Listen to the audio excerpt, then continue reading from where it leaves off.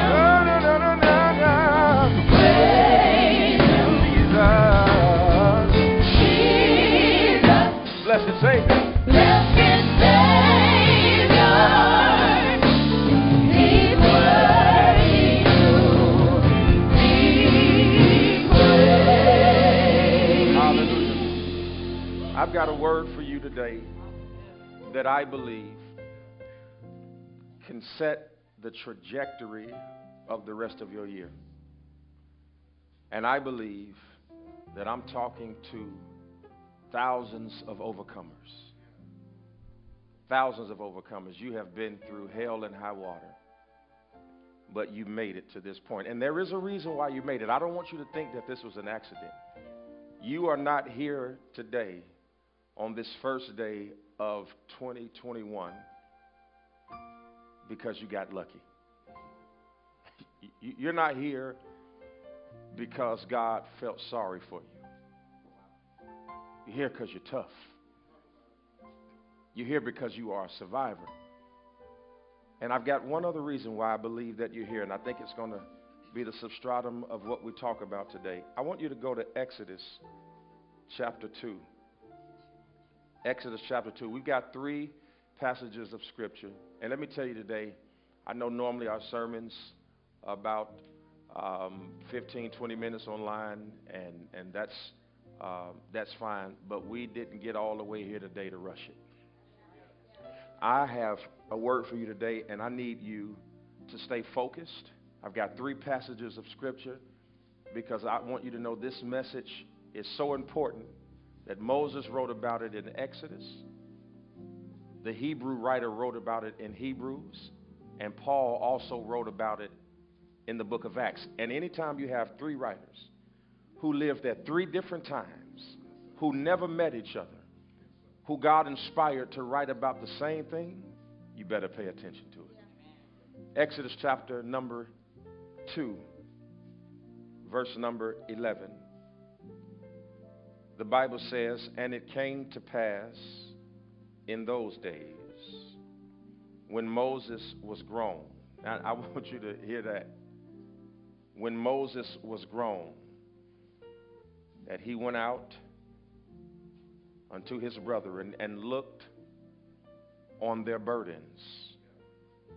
And he spied on an Egyptian smiting a Hebrew, one of his brethren, and he looked this way and he looked that way. And when he saw that there was no man, he slew the Egyptian and hid him in the sand. And when he went out the second day, behold, two men of the Hebrews strove together, and he said to him, and this is the one who started the fight, he says, Why did you smite him? And he said, Who made you a prince and a judge over us? He says, Aren't you the one that just killed the Egyptian the other day? And Moses was scared and said, Surely I've been found out. This thing is known. Now, when Pharaoh heard this, he sought to slay Moses. But Moses fled from the face of Pharaoh and dwelt in the land of Midian and sat down by the well. Stay with me, y'all. Go to Hebrews 11. Hebrews chapter number 11. If you got to say yes. Hebrews 11. Now I want you to go down to verse 24. When you look at verse 24, here's what the Bible says it says, By faith, Moses, when he was come to years, refused, listen, to be called the son of Pharaoh's daughter. That, I, I hope y'all getting this. I hope you're getting this. Now let's go over to Acts chapter 7. Let's go to Acts chapter 7. I, one verse in verse 23, and we're done. Acts 7, verse 23. And when he was a full 40 years old, it came into his heart to visit his brethren from the children of Israel. So here's what you have. In Exodus, you have Moses telling his own story about how he looks out the window and he saw two Hebrews fighting and he got involved in that and he saw um, another Egyptian treating another Hebrew wrong. Uh, so that was racism even back then. Sounds like 2020. So, so he's got that going on, and then the Hebrews are fighting the Hebrews. So that sounds like black on black crime, Hebrew on Hebrew crime. Same thing that's going on today. Because I'm trying to show you that Moses had his own 2020, and he still made it. I'm, I'm trying to show you that this isn't the first 2020. It's the first 2020, but it ain't the first 2020. You see, it's it's the it's the first time it's been 2020, but it ain't the first time there been a year like this, right? And so Moses sees that. But Moses, because you know when you tell your own story, you, you leave some some of the details out because you don't think they're pertinent. So then we go over uh, to uh, Exodus, and then we leave there and we go to Hebrews, and the Bible says that by faith he did it. And then we go over, and Paul gives us the specificity. He says, not only did Moses do it, because Moses said when he had come to four years, but Moses said this happened when he was about 40. Something happens when you get older. When you get too old for stuff, eh, a full 40. You know, it's some, you take some stuff at 25, but by the time you get 35, 36, 40 years old, so I'll be 40 in July. I'm, I'm right where Moses was. I understand them. But, but here's what I want to talk about. Moses, this is what it says in the first in the first watch. Exodus chapter number 2. I want you to get this. I promise you, this is it. Exodus chapter 2, verse number 11. And it came to pass in those days when Moses was fully grown. I want to talk on this subject today, and I hope everybody at home can say it. Just look at everybody in your house and repeat after me I'm grown. That's, that's what I want to talk about today. Just tell everybody in your house, tweet, text everybody you know, and just let them know if you want to know why I'm acting different this year, it's because I'm grown. If you want to know why I'm not taking what I used to take, it's because I'm grown. If you want to know why I understand things on a different level and perceive them, it's not because I'm arrogant. It's because I'm grown. Everybody just said at home, I'm grown grown. Put it in the comments. I know I'm any grown people out there. This is for the grown people. This message ain't for kids. This is for the grown people in the room. I, am grown. I'm grown. You know, I guess the question would be uh, how does one know when they are grown? Because some of you all have children who think they're grown. They act grown. They, they maneuver and move like they're grown. And I grew up in an old schoolhouse um, where there was one very basic definition for being grown. It was made very clear to us that you're not grown just because you turned 18 or 21. We, we, we were grown, according to our mother, when you could take care of yourself. That, that's really the working definition of being grown is when you can pay your own bills. Adulthood has nothing to do with the matriculation of age, has nothing to do with how old you are, because there are people uh, who are twice your age uh, but don't have half the responsibilities that you have. Being grown is not uh, because you can get in the club at a certain age. Uh, being grown is not because you can go to uh, the rental car place and, and finally you've reached the age where you can get the car without uh, somebody helping you. Being grown is the result of surviving stuff. Your time makes you grown. Be, being grown is the result of, of making it through things. When, when time has had its way with you and you keep bouncing back, and uh, when you've had issues and circumstances, you see, time, what you survive, what you've been through, the evolution of your mentality. See, all of these things contribute to the work and definition of what it means to be a grown man or a grown woman. I, I, I like what I like. I go where I go, and, and if you don't like it, it doesn't matter because I paid for it. You know, I, I, I dress how I want to dress, and if you don't like it, then dress how you want to dress. But, but I'm grown, and I've earned the right to do it. Uh, you can drive what you want to drive, live where you want to live. Why? Not because you need somebody's opinion, but, but when, you, when, when people see your life at this stage, they don't understand that they may uh, be envious of what you have today, but they missed all of the moments, weeks, years that you didn't have a fraction of what you have today. And since you made it this far, you work 40, 50 hours a week, take care of all of your children, make sure that you are doing the things of God and you're praying and fasting. There are some things that only come by fasting and praying, and when God blesses, you don't have to explain nothing to nobody. Just tell them I'm grown. I'm grown in the spirit. I'm grown in the physical sense. I've, I've evolved. I, I, I, listen, I'm grown because I know what to take serious. I, I know what to take serious. I know who to take serious. I know how to react and not overreact. See, all of these things uh, are the differentiations between uh, childhood and adulthood. And I think this is what Paul meant in 1 Corinthians when he said, When I was a child, I spake as a child. I thought as a child and I understood as a child, but now that I become a man, I put away childish things. I think Paul is saying that the difference between adulthood and childhood is how I speak, how I think, and what I understand.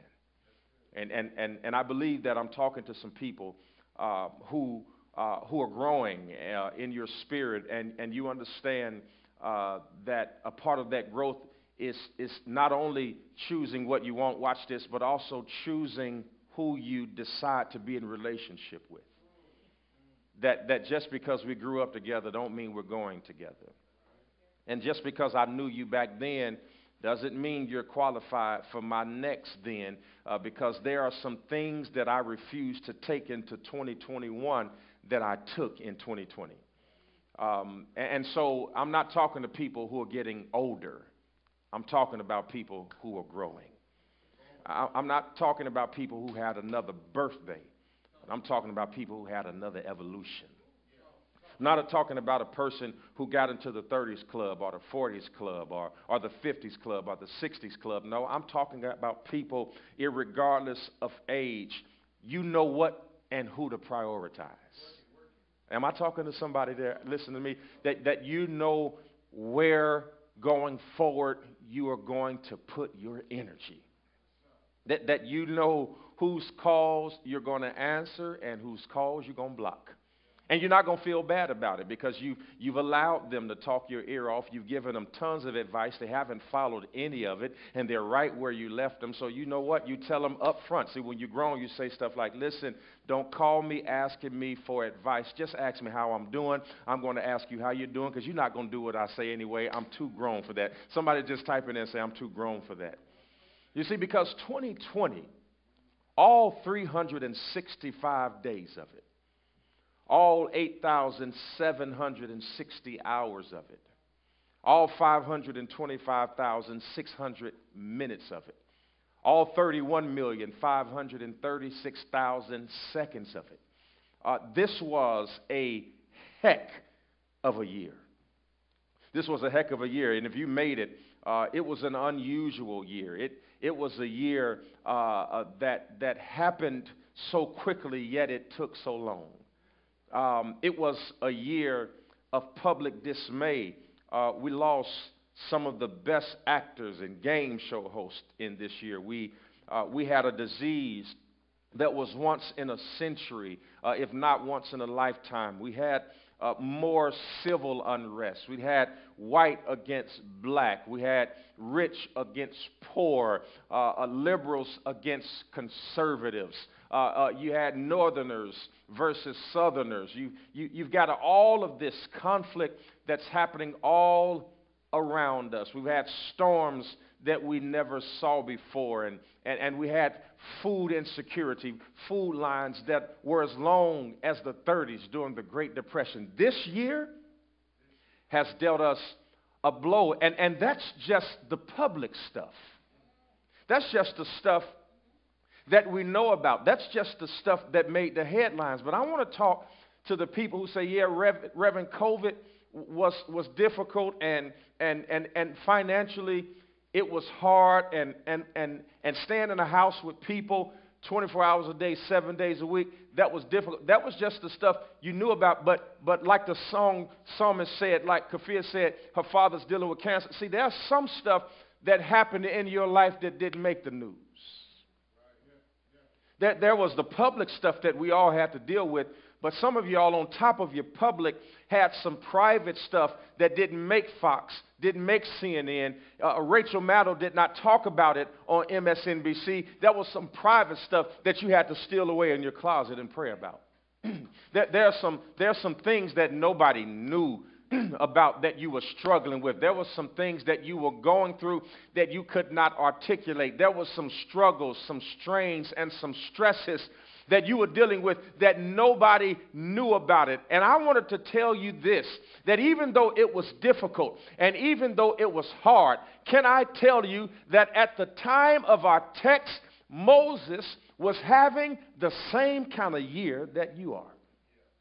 Moses was going through the same thing. His, his then was like you are now, and it actually looked like 2020 because, first of all, the Egyptians were enslaving the Hebrews.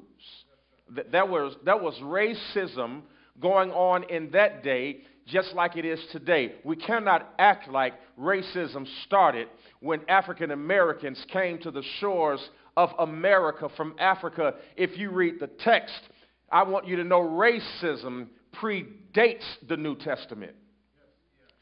It, it, predates the AD uh, calendar. It, there was racism going on right here. And, and, not only that, there was classism and there was sexism. And if you think Chicago has issues with black on black crime, and you think that Houston has issues with it, and, and if you think that, that Florida has issues with Latino on Latino crime, and you can go all over the world and see people of the same races and ethnicities fighting one another, the same thing was happening here in the text when Moses looks out of the window and sees Hebrews fighting one another. There was crime going on, there was social injustice going on, there was economic injustice. Can you see that, that even archaeologists are still today finding the gold and the treasure that the Egyptians left behind, and yet you had the Hebrews living with the Egyptians in the same city, in the same town, in the same state, in the same country, but they were waiting on the master to feed them when he thought that they needed. And they were waiting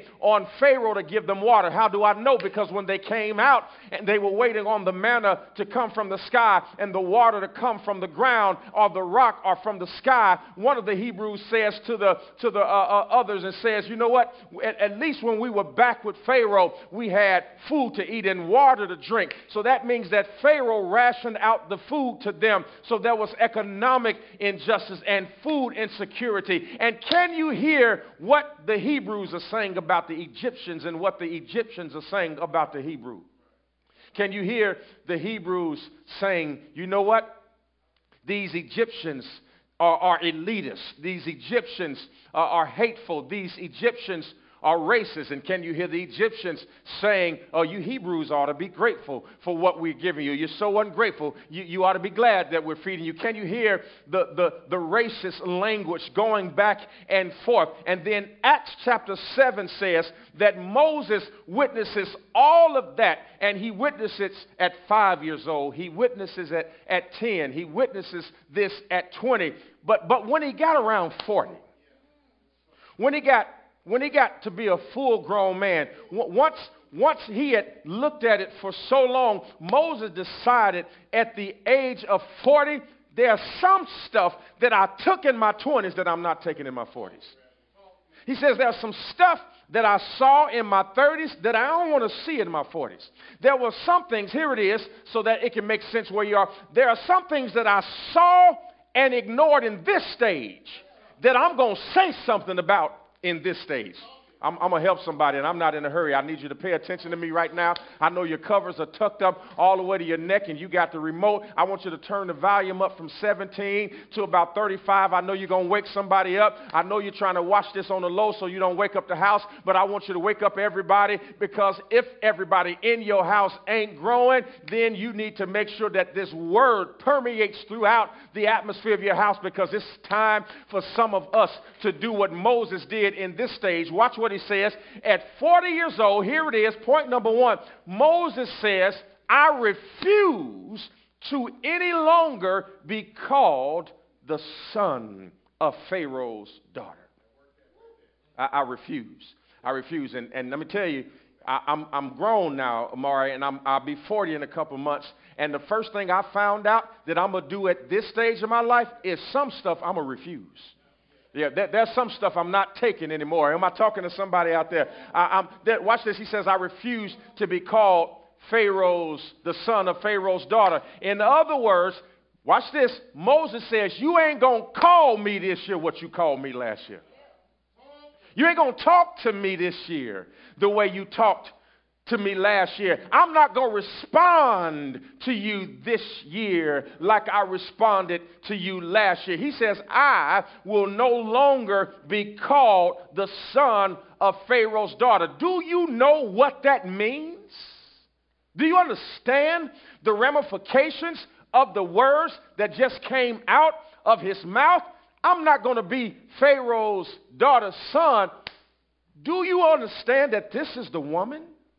Who found you in the reeds, and your mother had abandoned you for sake of fear, and this is the woman who brought you in the house, and this is the woman who clothed you, this is the woman that fed you, and Josephus said that Pharaoh had no other children, and that Pharaoh's daughter had no other children, which means, Moses, that if Pharaoh dies, you are actually going to be next in line to be the next Pharaoh of Egypt. Hold on, be careful, make sure that you are not being ostentatious, make sure that you are not being erratic. Be careful, don't break this thing off yet. Are you sure you don't want to just stay? You sure you don't want to just be there? You sure you don't just want to stay there for the sake of peace? Moses says, I cannot stay in this house another longer. I will no longer be called the son of Pharaoh's daughter. I don't care what's next. I don't care who's next in line. I don't care about the benefits. I don't care about the pension plan. I don't care what kind of uh, uh, house we have. I don't care what kind of car we drive. I don't care how much money is in the bank. I am a Hebrew and I have a destiny. And what, what Paul says, he says that Paul says that Moses would rather struggle with the Hebrews than to succeed with the Egyptians. And every once in a while, you got to make a decision of whether you're going to struggle or succeed. You got to decide whether you're going to struggle or succeed. And sometimes we don't refuse things because we're afraid of the struggle. Sometimes we don't refuse things because we're afraid of what people are going to say. Sometimes we don't refuse things because we're afraid of what's going to be in the headlines. Moses says, I no longer want to be called the son of Pharaoh's daughter. I don't care how much gold I'm leaving behind. I don't care what kind of pyramid you are going to give to me as an heirloom. I don't care what's going on. I don't care if we know each other. He said, says, Thank you for the education. Thank you for being nice. Thank you for the Dolce and Gabbana. Thank you for the, for, the, for the shoes. Thank you for the clothes. Thank you for the Louis Vuitton belt. Thank you for all that you gave me. Thank you that the bottom of my shoes were red, but I'm getting ready to take these shoes off. You can have the belts. You can have the watch. You can have the ring. You can have the crown. I'm going to where I am called because I am no longer going to be associated with this facade. When you get grown, you get tired of fake stuff. He says, I ain't, I ain't no Egyptian. I was a Hebrew when you found me. I'm not an Egyptian. I was a Hebrew when you clothed me. I'm not an Egyptian. I was a Hebrew when you tried to change my name. And now at 40 years old, I'm ready to get back to what I was. And I don't know who I'm talking to today, but I'm talking to at least 2,000 people who say in 2021, I ain't doing the facade. In 2021, I ain't doing the fake. In 2021, I'm not tiptoeing and walking on eggshells. He says, I am tired of faking it. And listen, there has to be a time in your life where you refuse to answer to what they used to call you. Moses says, I ain't, I ain't, I am not a Hebrew. I am a Jew. I am a Hebrew, and in this 40th year of my life, or in this 21st year of the 20th century, somebody has to decide that you're no longer going to pretend. I don't care what the benefit is that you're no longer going to pretend. I don't care who pays your rent, that you're no longer going to pretend. I don't care how many bags you got for Christmas, you're done pretending. I don't care what kind of gift you got to be. I want you to decide that it is time for you to be grown and stop putting up with the facade and be what God created you to be. I dare you to type it. It's time for me to be. It's time for me to be. I don't know what comes after your be, but it's time for you to be. It's time for you to be rich on your own. It's time for you to be peaceful. It's time for you to be happy. It's time for you to be calm. It's time for you to be happy. I don't know whatever's coming after your be, but somebody type, it's time for me to be. Moses says, he says, I got 40 and uh, I'm, I'm, I'm grown. He said, I'm, I'm not faking no more. I'm, I don't care how big this house is, I refuse to walk in it unhappy. He says, I don't, I don't care. I don't care that I'm famous.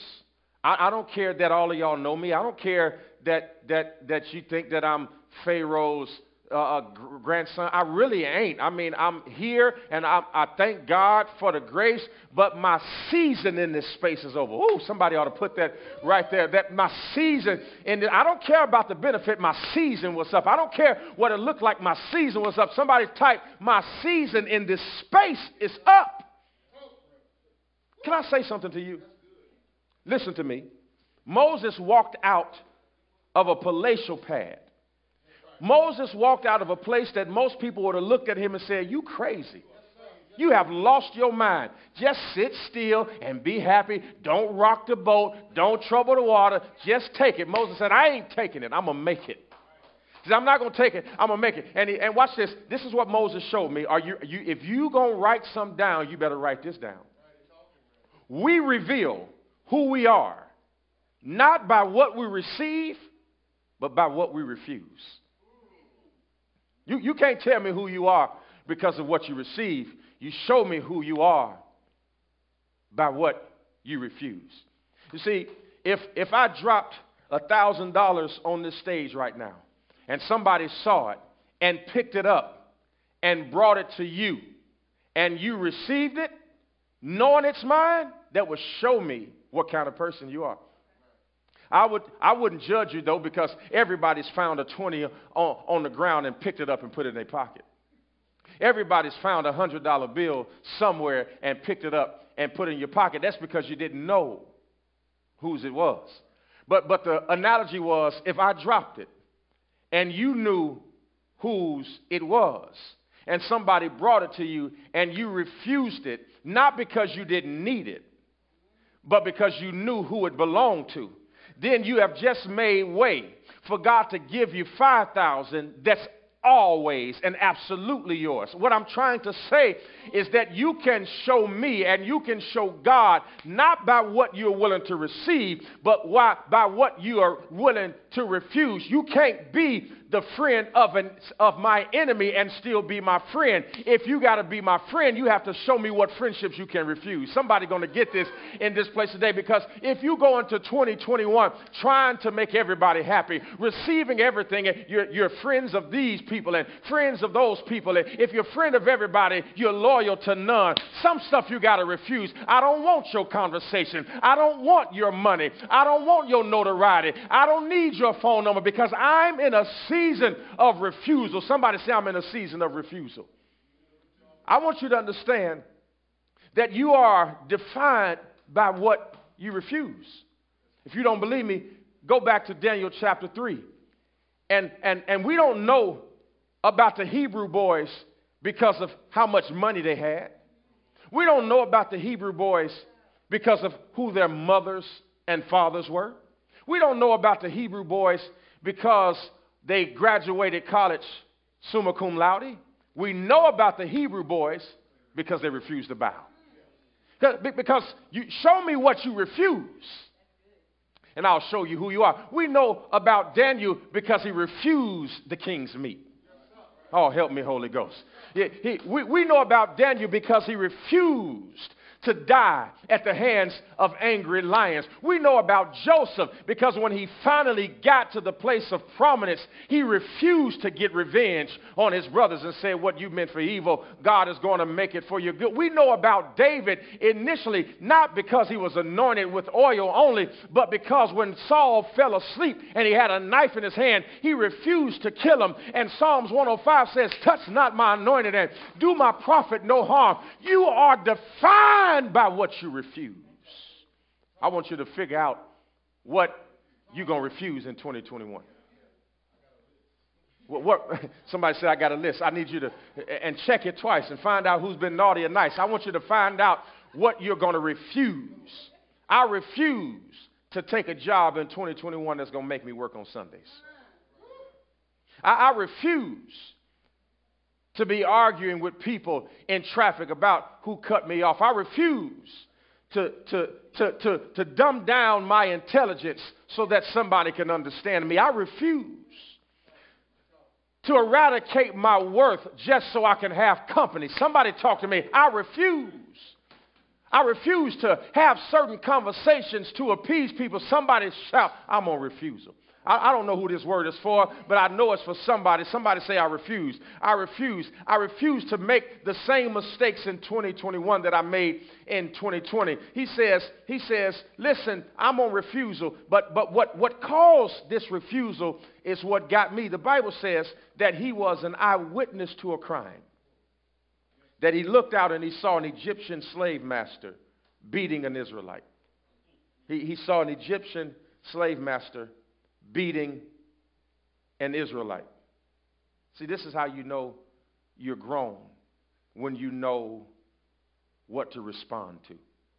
See, let me put it this way when you're younger and you're young minded, the things that make you angry is when somebody does something to you. But when you get grown, you start saying stuff like, you can say whatever you want to say about me, but mess with my child.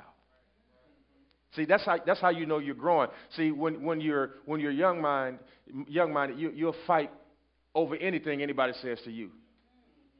I was, I was going to get something to eat uh, yesterday, and I'm pulling into the parking spot, and, and a lady who was on the other side tried to hurry up and get in. Now, I had a decision to make. had a decision to make. And, and the decision I made was different than the one I would have made a few years ago. I politely pulled in the parking spot, and then I saw her wait on me to get out of the car. And I had to talk to myself. And I talked to myself in the car and I said, Self, myself said, hmm. I said, We're going to get out of this car and we're going to be fine. And I got out and she said, Really? And like the Christian I am, I said, Really? And kept walking. I could, that could have ended different. Just, but see, when you get older, you recognize she can be upset. She was in the wrong. I'll never see her again. Ain't no sense of using my energy to cuss her out or have her cuss me out or engage. I just let it go, kept on going. But but when you get older, you start saying stuff like you can say whatever you want to me, but but mess mess with Caitlin. And I will forget that I went to seminary.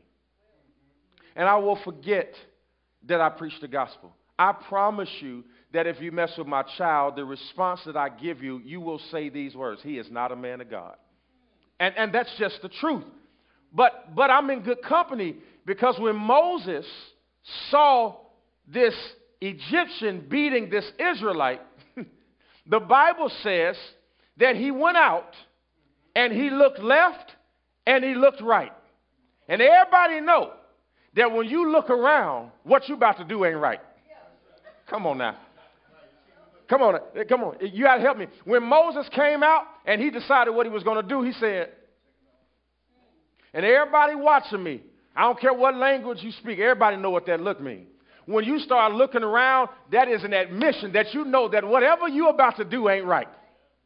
So I fit right in with Moses. Moses started looking around. The Bible says that when he looked around, he went out there and he killed the man. Not only did he kill him, he must have had anger issues. Then he went and buried him in the sand. And that's how you know you're grown when you start burying what you killed. You see, the problem is is a lot of us let things in our life die, but we never bury them. And so every time we walk around, we're reminded about it. Come on, help me, y'all. We, we kill it uh, or, or, or we put it in a coma, but we show it on bury it because we have intentions on visiting again. But when you're growing, you don't just kill it, you get it out of your sight, you bury it. Here it is. When you're really done, you delete the number. When you're really done, you don't go that way anymore. When you're really done, you don't mess around in that area anymore. When you're really done, you walk away, you bury it, you lock the house, you throw away the key. I am asking you in 2021 if you want peace, you're going to have to learn to bury some stuff. You're going to have to dig some shallow graves for some of the attitudes and some of the feelings of rejection and insecurity that the enemy has planted in your life. And when you're going to the next level and you know you really grown, there's some things you got to bury.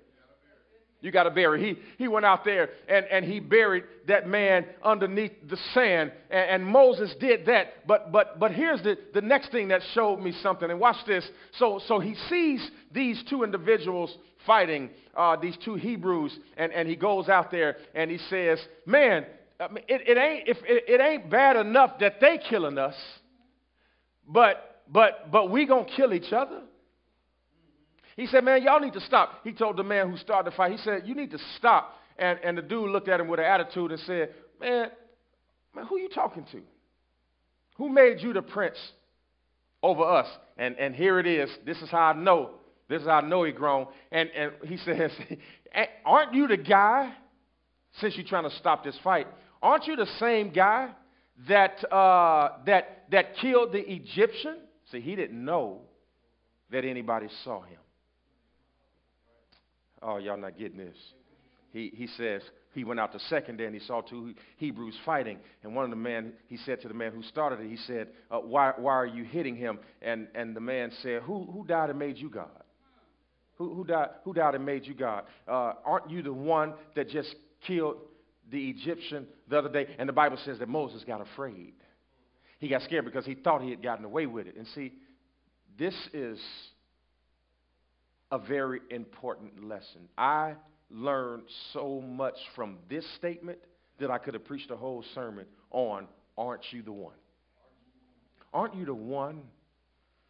You up here trying to preach to us, aren't you the one that got a divorce? You, you up here trying to preach to us, aren't you the one that filed for bankruptcy? You, you trying to be my mama and tell me not to have a boyfriend? Aren't you the one that got pregnant when you were early? You, you know, because anybody who's in authority right now always has somebody who questions your past while you're trying to give present instruction. And it makes it difficult to be a leader and it makes it difficult to, to go forward because there's always somebody who saw you try to bury it. You think you got away with it and you think it's in your past, and just when you think it's in your past, and just when you think you can speak up, somebody said, Aren't you the one? And, and this is how you know you're grown when you got a past. and, and I, I, I say that with all due respect, and I say it so that you can be excited because you don't get grown being perfect. Moses might as well just said, Yes, I did it. He might as well have admitted it because the man saw him, and that's how you know you're grown. Listen, you know you're grown when you've done something you need to repent for. Everybody watching me has sinned and come short of the glory of God. And the reason why our generation struggles so much with other generations is because everybody's trying to act like they haven't done a thing. Everybody wants to judge the Hebrew beating the Hebrew, but nobody wants to be judged about when they killed their Egyptian and buried their bones in the sand. And let me tell you, every person who judges you has a body under the ground. Every person who thumbs their nose up at you and act like they're better than you, if you dig in their life, you're going to find an Egyptian buried in the sand. If you dig in their life, this is why you don't have to be worried about people who are trying to come after you and dig up all kind of stuff on you. Because let me tell you, if somebody can dig in your life and find something, rest assured, if you dig in theirs, you can find something too. The Bible says that he put him in the sand. I learned something from this. First, I learned, listen, that this showed me that Israel was not ready to be delivered. Now, this is going to be revelation. When, when, that, when that man said, that Hebrew said, Aren't you the guy who buried the man in the sand? It showed me right then that they were not ready to be delivered. Are you with me? Now, you're saying, Pastor, what do you mean? Go back to the book of Genesis. There's a man who built an ark. His name is Noah. And when Noah built the ark, the Bible says that somewhere in his life, he had gotten drunk into a stupor, and he had a son named Ham. Ham, by the way, is the father of Canaan. this is for my Bible readers right here. Because you've always, have you ever tried to ask yourself, out of all of the places in the world that God could have given Israel as a promised land, why did he give them Canaan? Why did the Canaanites who lived in Canaan have to give up their land for the Israelites? The reason why the Canaanites lost their land to the Israelites is because a Canaanite named Ham exposed an Israelite named Moses. And let me tell you, you always lose your house to the person you try to expose. The problem with this generation is that we try to expose everybody. And anytime you expose, you lose. The Bible says he has two sons, two other sons. He has two other sons. And, and guess what they do? The Bible says that the two other sons, they put a cloak over themselves. And they walk backwards so that they would not see their father's nakedness and they were blessed. I came to tell you that I know you got something in your life that ain't right, and I know you have something in your life that you need to repent about, and somebody else knows it too. But let me tell you, God is not sleep. God is not about exposing. Anybody who tries to expose you will lose the very thing that they're trying to gain. Be not weary in your well doing, for God will give you a harvest if you faint not. The Canaanites lost their house to the Israelites because the Canaanite tried to expose the Israelite, and God moved the Israelite right into the house of the Canaanite. Because one thing that shows you that you're grown is you know how to cover. Yeah, when, when, you get, when you get somebody in your life this time and you get serious, don't just get fine, get cover. Don't, don't just get money, get cover. Don't just get fair skin and, and good hair and, and, and, and a great outfit and, and, and great dressing skills and, and, and great articulation and, and, and great fashion. Yeah, all of that's fine, but get somebody that when it gets tough, they'll cover you. Hey, th- th- this is what happens right here in the text. This is how I know that they were not ready for the promised land because you know that you are grown when you learn how to cover. Shimon and Japheth, they covered themselves. Look at this. Not, not that they just covered their father, but they also covered their eyes so they would not see their father's nakedness. And yet Ham exposes him. And because Ham is the father of Canaan, now Canaan loses its home to the Israelite because anybody who tries to expose you will lose the thing that they're trying to get. You know you're grown when somebody hurts you and you cover them. You know you're grown when somebody breaks your heart and you cover them. You know you're grown when you can go to a church and, and maybe the pastor hurt you, or maybe you experience what they call church hurt, but you know you're grown and you know you're over it when you don't go to every other church talking about what happened at your last church. You know you're, you know you're grown when you get in a new relationship and you don't spend all of your time in the new relationship talking about the old relationship. You know you're grown when you're at the new job and you're not talking about the old job. You even got to cover the boss that fired you. Oh, I know y'all ain't going to say amen.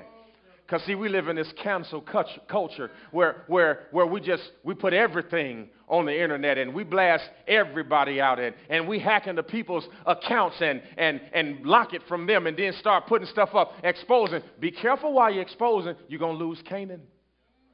We need more Shems and less Hams. Help me, somebody. We need people who will cover our leaders. I, we need people, and this is one thing that, that I, I keep seeing in our culture. Every time somebody says something on the internet, we just cancel everybody. We buy their albums, but the moment they do something, they cancel. Uh, we, we love Barack Obama until he says something about a statement that's made and then all of a sudden he doesn't represent us and it was he was our president even when we had a president a few months ago. But then he says something we don't agree with and everybody cancels him. And i know that some of y'all are going to start tape, typing now talking about yeah but he said this and he said that. But this generation has to learn to cover. How do you think that as many of you who don't like the current president how do you think he got 78 million votes because he had 78 million people, despite his flaws, cover him. And today, they still. Y'all ain't hearing me. You're missing, you're missing what I'm saying. If you go read the news right now, there are some senators, in spite of the validation of the election, who are still planning in the next two to three weeks to stand up on the floor of the House and reject the results of the election, not even because they think that they're right, but because they have learned to cover the thing that has their interest. Oh, this is this is this is this is harmful for some of y'all, but it's helpful for others. I'm talking to some kids right now. You might not think that your mama has done the right thing, but you better cover her. Yeah, I know your father wasn't there, but the Bible says in Ephesians chapter 6 honor your mother and father that your days may be long. In other words, even if your father was not there, if you want to live a long time, you got to cover him. Y'all not talking to me today. You don't get to be mad forever because he didn't buy you a pair of Jordans, and you don't get to be angry for the rest of your life because he did not buy you flowers for the prom, and you don't get to be angry until you're 40 because he was not there when you were born. You are at the age right now where you say, I no longer, I refuse to be called depressed. I refuse to be called rejected. I refuse to be called less than. I refuse to be called a bastard child. I refuse to be called whatever your past used to call you. And now you got to learn to cover the very thing that hurt you. That's what this generation needs to learn. So I knew that they were not ready because they did not know how to cover Absalom. If you would have known how to cover your father, you could have been king. but you tried to kill him and expose him. Y'all not talking to me. I got Bible. I can back it up even if you don't agree with it. We have a situation in the earth right now. And 2021, I know that some people are going to hurt you. Some people are going to break your heart. They're going to look over you, but I'm telling you to cover them. Back up and act like you didn't see it. You don't know what they did to me. Back up and act like you didn't see it. You don't know what they said about me on social media. Back up and act like you didn't see it. You don't know what they did, back up. You don't know what they said, back up and act like you didn't see it because you don't want to lose Canaan over an argument. Absalom, if you'd have covered your father instead of trying to replace him, you could have been king.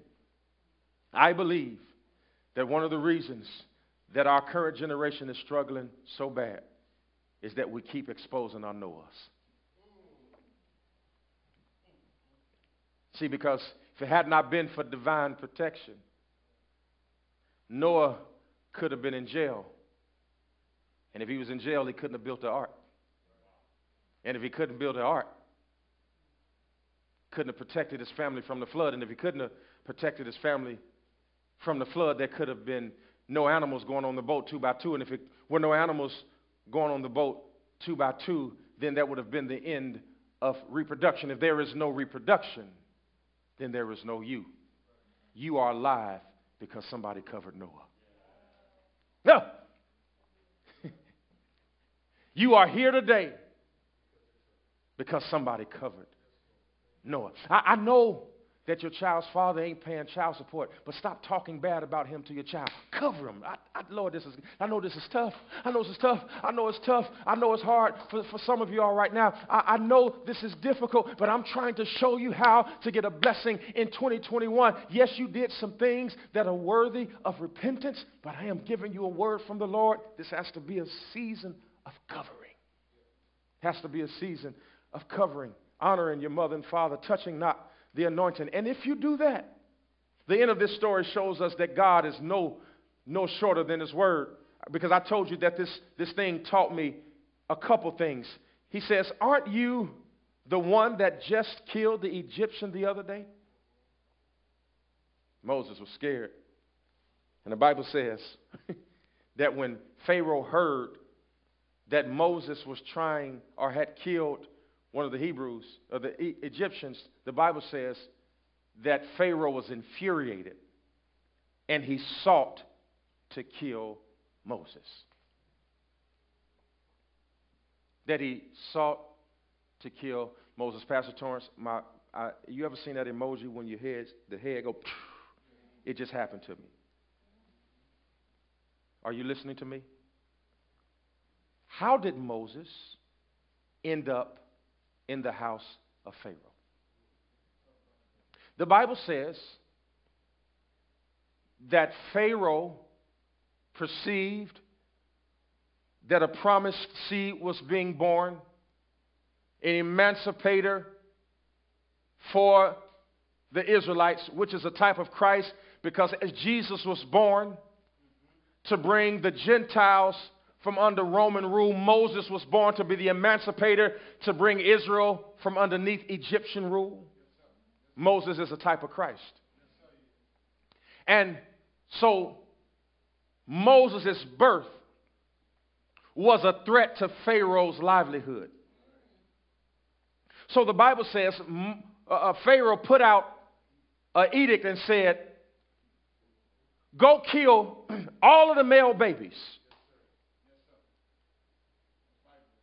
All of them. Find them. All the, kill them all. And, and when Moses' mother heard this, she went and hid him to make sure that he would not be killed. And while she was taking, uh, uh, Pharaoh's daughter was taking a bath in the Nile River, the Bible says that she hears a baby crying because Moses' mother had hid him. And when she could no longer hide him, she hid him in the reeds and, and she grabbed him and she saw the baby and she took the baby into her father's house and said, Daddy, I found this abandoned baby down by the river. Can we keep him? And Moses is now brought into the house of Pharaoh. And the very thing he's looking to kill is in the next bedroom. He's got people all over Egypt looking for Israelites who just had babies and stabbing them and killing them and saying, I'm going to find you, Moses, one of these old days, and doesn't even know that he bought his replacement's first bassinet. That he's around here looking to hurt and to kill the person who's a threat to his existence and does not know that he's invited his threat to the dinner table. That's how Moses ended up in Pharaoh's house. Now, the Bible says that Pharaoh hears that Moses has just killed an Egyptian. And now, unknowingly, he's seeking to kill the same man twice. He tried to kill him in the beginning, and now he's trying to kill him again at 40. And he cannot, had he succeeded, he could not be prosecuted for the crime because there is something called double jeopardy. That when you have done or been convicted of doing one thing, then if you actually do the same thing after the conviction, you cannot be convicted again. Moses, you have just shown me something that's getting ready to deliver at least 10,000 people this week. Are you telling me that Pharaoh tried to kill you when you were a baby? Yes. And that's how you got in his house? Yes. Are you telling me that he tried to kill you again at 40? Yes. And that's how you got out his house? Yes. All right, let me say it again. Are you telling me that, I, I, just tell me, this is true, Pharaoh's daughter found you at three months and brought you into the house? Yes. And you were raised in Pharaoh's house for 40 years? Yes. And you made up your mind that you were going to leave? Yes. Did you have a plan on how you were going to go? No. All I know is at 40, I refused. All I know is I just got mad and I killed somebody. And I didn't know that all things work together for the good of them that love the Lord because I knew, I knew I was doing wrong. That's why I was looking around. I thought that killing this man was going to get me in a jailhouse. I did not know killing this man was going to get me out of Pharaoh's house.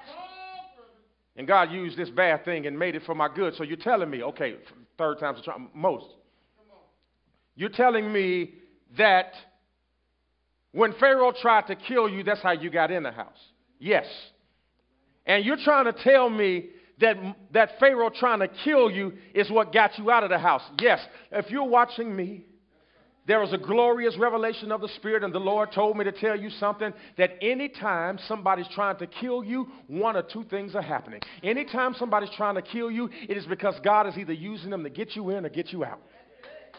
That's all I wanted to tell you today. Anytime somebody is trying to assassinate your character, that means that God is trying to get you in something or he's trying to get you out of something. Be not weary in your well doing, for you will reap a harvest if you faint not. If you are under attack from the enemy right now, don't you give up. Be not dismayed. Whatever betides you, God will take care of you because anytime the devil is trying to kill you, is because God is using him to get you in something or he is using him to get you out of something. And that's why I thank God for 2020. 2020 because it tried to kill all of us. And had it not been for 2020 trying to kill us, it would have never brought us into 2021. The reason why you are here and alive and getting ready to go further is because last year tried to kill you and God used it to get you into a new year. Don't you be upset about what's trying to kill you. Because anytime something is trying to kill you, God is either using it to get you into something or get you out of something. That person who has tried you in ways that you've never been tried, and you want to fight back, God told me to tell you, cover. Wait, Reverend, what do you mean? They have made the last five years of my life a living hell. Back up and cover it because you don't understand that God is using your Pharaoh to either get you into a space or to get you out of a space. Sometimes he uses the same person to get you in. And he'll turn around and use the same person to get you out. What they meant for evil, God is going to turn around for your good. And you can't be like Pharaoh because Pharaoh is telling everybody, I'm going to kill him. I'm going to kill him. I'm going to kill him. You can't be like Pharaoh. Even if you want to kill him, you got to. And can I tell you? That's how you know you grown. That, that's how you know you're grown. How do, how do we know that David was grown? He could have killed Saul, but he went up to the mountain and says, I could have killed you, but God said, Touch not my anointed and do my prophet no harm. And at that moment, now David is ready to be the king of Judah, not because of what he could do, but because of what he refused to do. You know you are ready for the next level when you refuse to do something you got a right to do.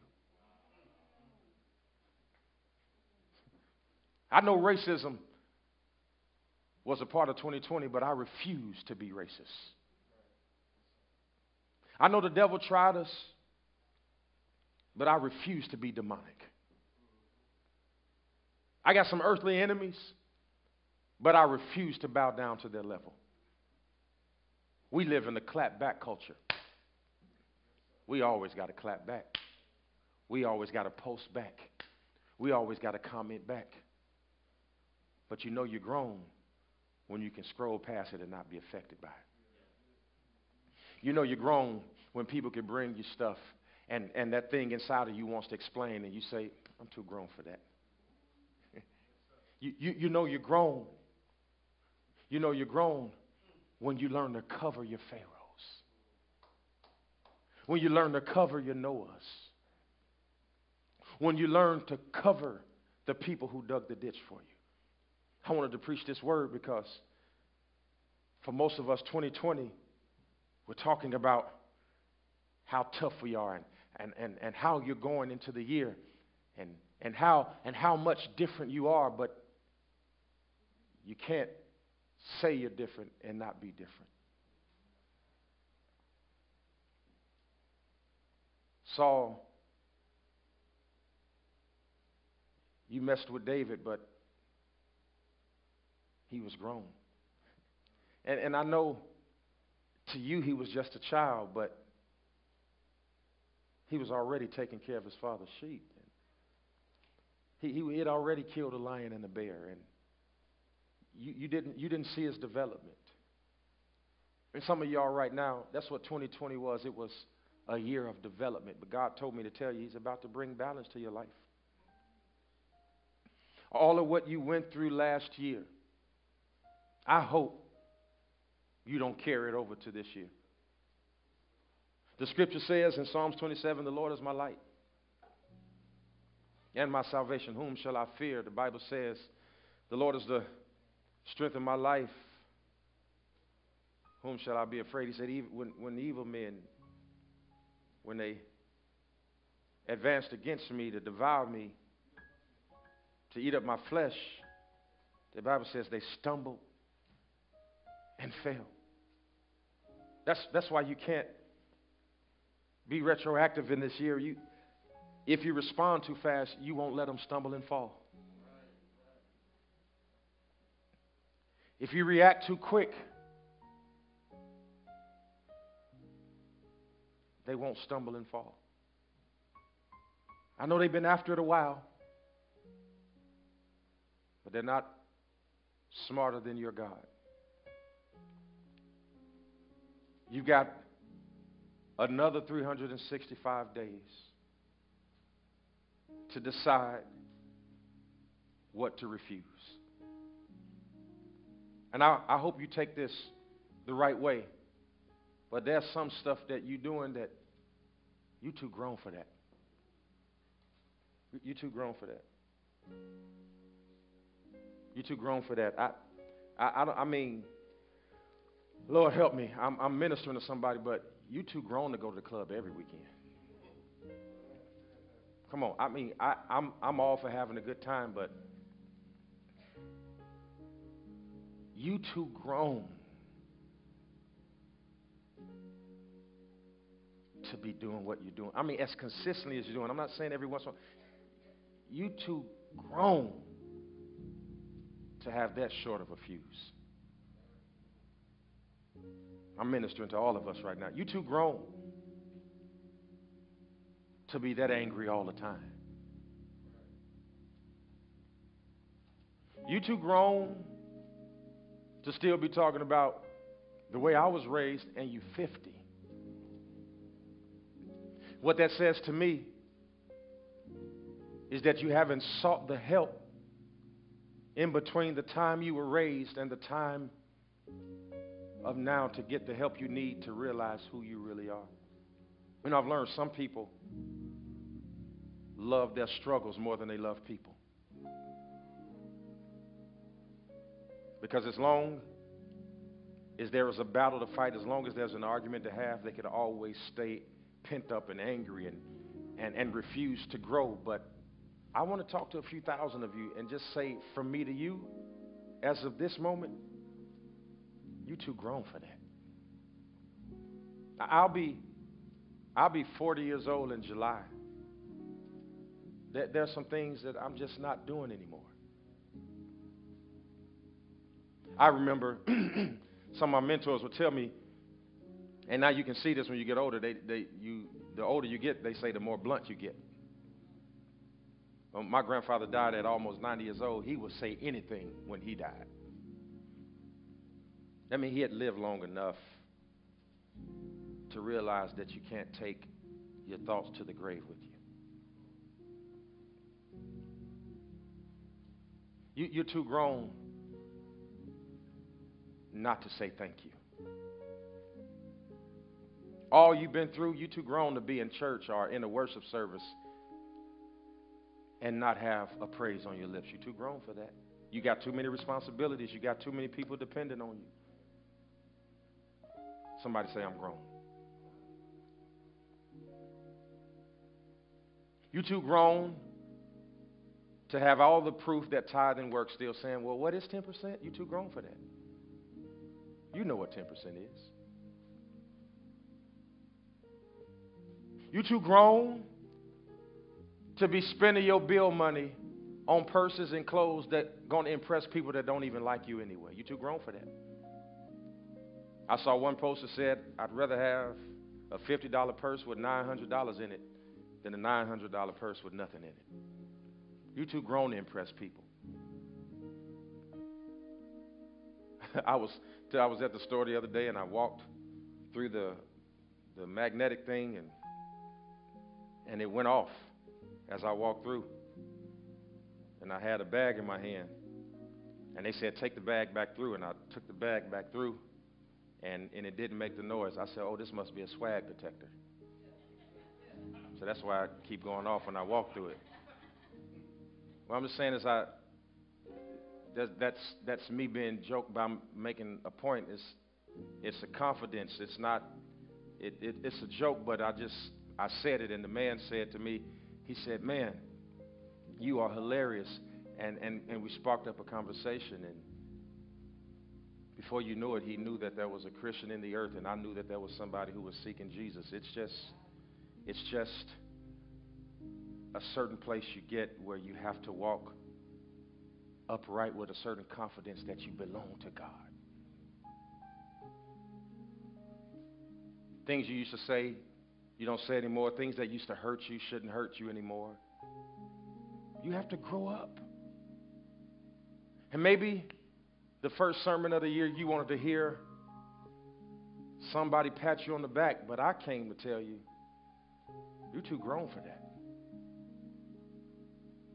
Any year you decide that it is your year, that's the year that belongs to you, not the year on the calendar. Because Everybody said 2020 was going to be our year. And for some people it was, and some people it wasn't, and we all went through the same thing because it's a decision. I close this by saying Moses, I could see him putting his hands in his pocket at 40 and said, I'm leaving this place in spite of the benefits I have to leave behind. I refuse to be called the son of Pharaoh's daughter because I really know now at 40 who I really am. I am the emancipator of Israel. And I can never be what I was created to be while I'm still pretending to be what I am not. As long as I'm pretending to be a son, I cannot be the emancipator. And you got a decision. Am I going to stay here with the benefits of being Pharaoh's daughter's son? Or am I going to do what Paul said and leave it all behind and choose to struggle so that I can reach my destiny? Moses